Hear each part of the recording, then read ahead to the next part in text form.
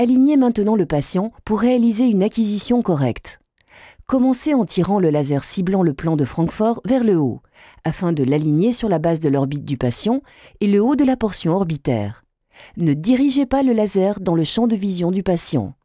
Après le réglage du laser ciblant le plan de Francfort, ajustez la hauteur de la table de positionnement pour lever ou abaisser le menton du patient et mettre le laser ciblant le plan de Francfort entièrement à l'horizontale.